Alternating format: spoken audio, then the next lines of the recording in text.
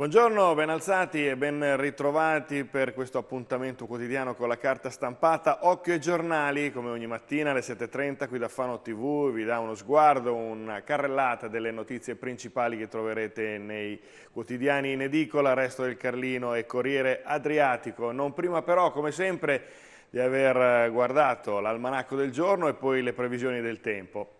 Allora oggi mercoledì 21 giugno eh, San Luigi Gonzaga, religioso, il sole è sorto alle 5.25 e tramonterà alle 20.54.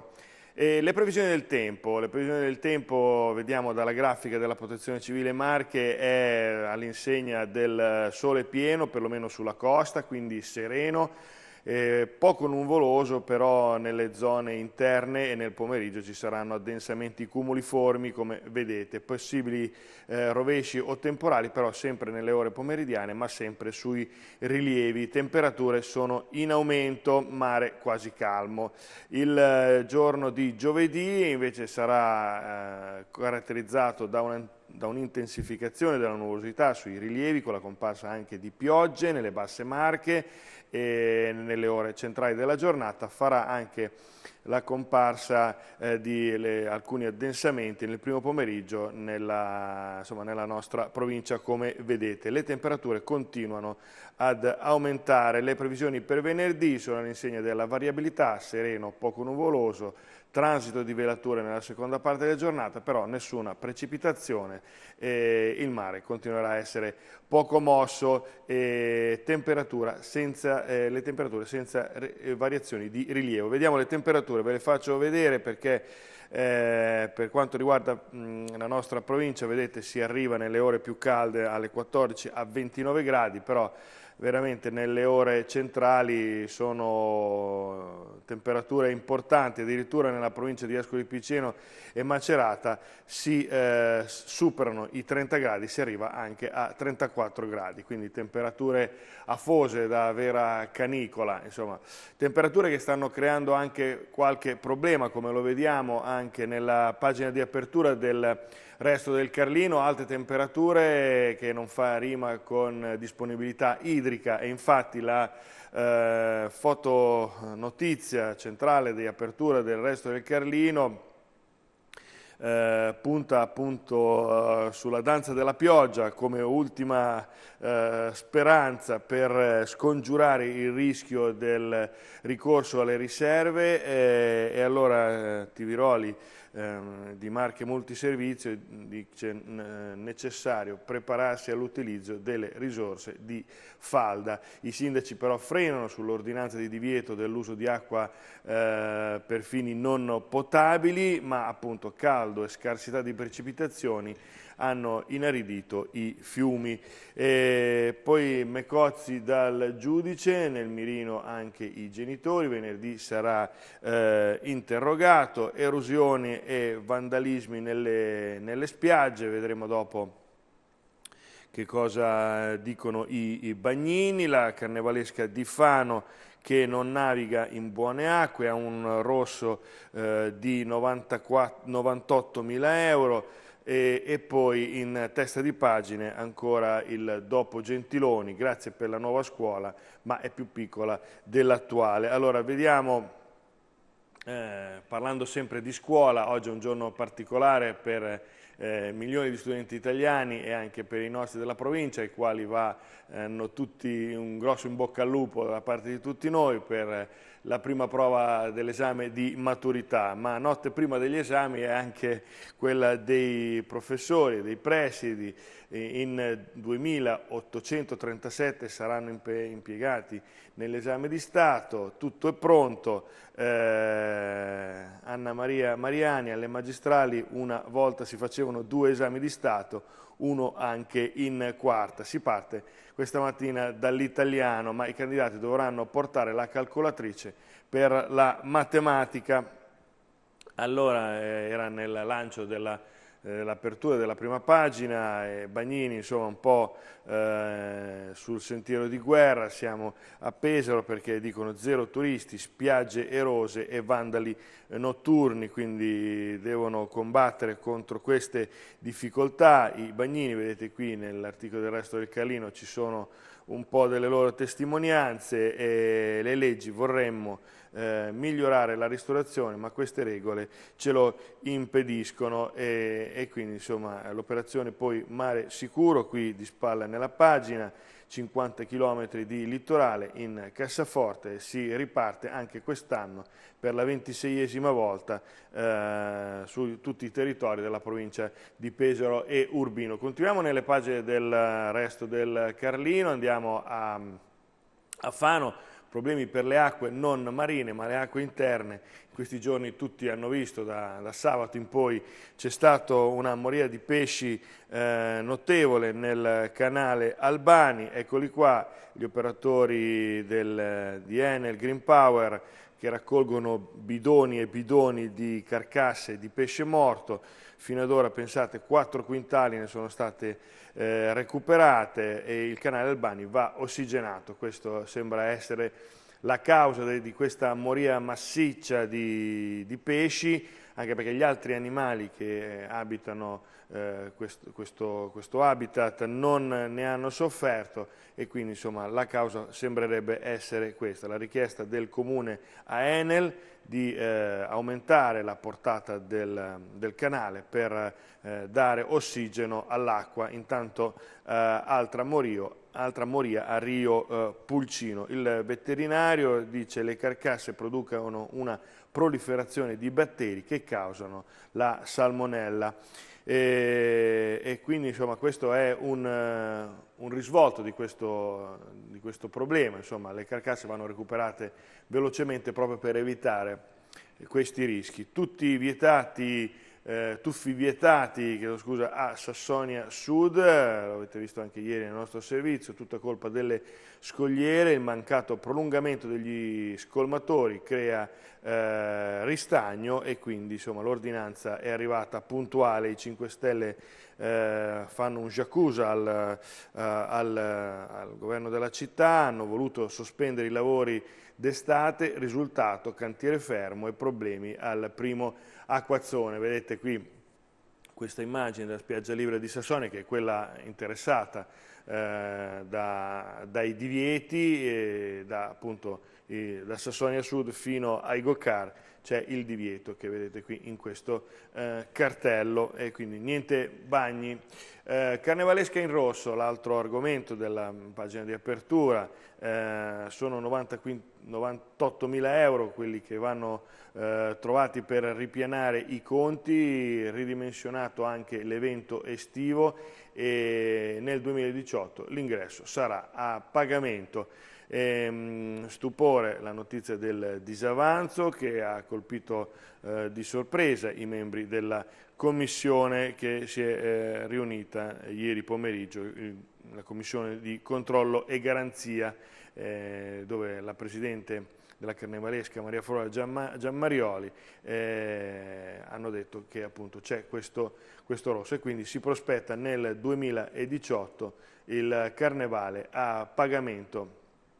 e quindi anche questa, eh, questo ultimo baluardo del Carnevale verrà abbattuto, si tornerà al pagamento. Cambiamo eh, la testata, andiamo nel Corriere Adriatico, eh, qui l'apertura è molto diversa, si parla di multe, di autovelox che fanno stragi eh, tra Fano e Pesaro, raffica di sanzioni con l'uso di nuovi strumenti eh, tecnologici. Adesso poi in testa di pagina l'estate alza il volume, concerti e feste e spettacoli. Nella terra di Valentino Rossi inventano l'Ape eh, TV al Passaggi Festival che insomma, è al via da quest'oggi ma domani sarà la giornata ufficiale di apertura, arriva eh, Veronica Pivetti con il suo libro e poi nel, nella pagina sportiva eh, Massimiliano Barbadoro fa un po' il punto sul fanocalcio, eh, Pomponio e Balducci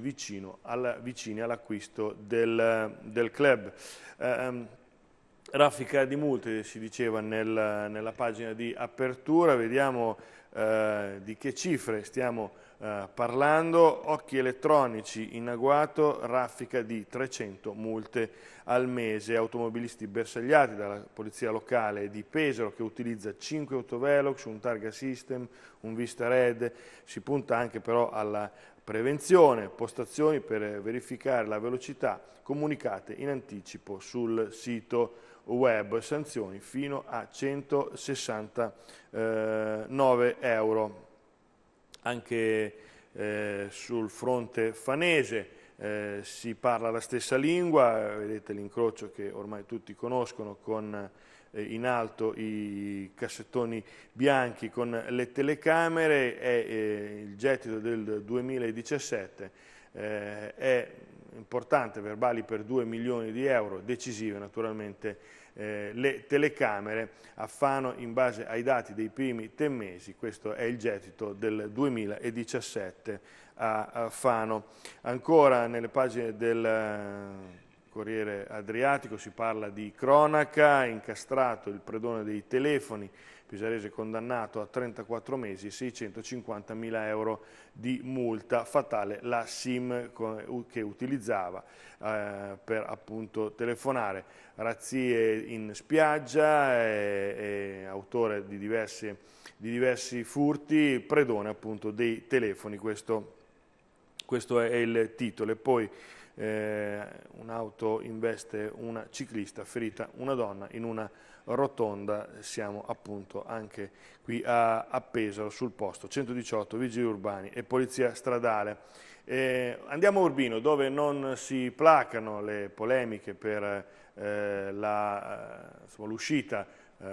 di Sgarbi durante il Consiglio con invettive e ingiurie, eh, Foschi e Sgarbi sono ancora nel caos, un Consiglio delegittimato, duro attacco del capogruppo PD Sestigli, nessuno è al di sopra delle istituzioni, questa è la sua affermazione. E, e poi andiamo alla pagina di Urbino che riguarda, che, che, insomma, che fa eh, il punto anche su quello che è successo ieri, eh, lo avete visto nel nostro TG, eravamo lì sul posto, eravamo sul posto insieme anche al sindaco, eh, il neo sindaco di Colli al Metauro, Aguzzi, che eh, a pochi giorni dalla sua nomina subito uh, ha dovuto fronteggiare questa situazione, eh, Aguzzi che era tra l'altro sul posto insieme a carabinieri, forze dell'ordine e polizia e i suoi vigili urbani, eh, l'incendio devasta i boschi ma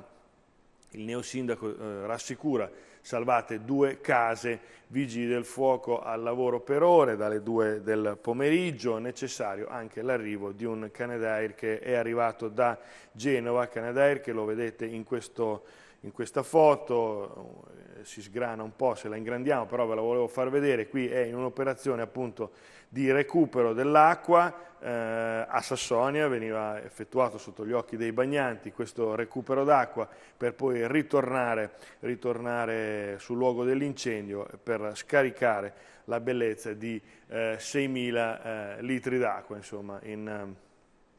in pochissimi secondi ma l'azione del Canadair è stata decisiva, soprattutto in un punto, in una stretta gola dove non si riusciva assolutamente ad arrivare. Grande impegno di Vigili del Fuoco ieri eh, appunto in quella zona. Allora, Passaggi Festival è il giorno appunto di, eh, di Fano che parte eh, e diventa la capitale della cultura per cinque giorni con passaggi. Oggi naturalmente c'è l'anteprima con il via di quattro mostre itineranti, grande copertura di RAI che è presente con eh, tre testate e, e, tantissimi saranno i personaggi che eh, passeranno appunto per la piazza, qui nell'articolo ci sono tutte eh, le date e i personaggi che daranno vita a questa eh, quinta edizione di eh, Passaggi Festival, anche noi cercheremo di dare copertura e vi faremo vedere il più possibile quello che accadrà in questi cinque giorni in cui il mondo della cultura si concentra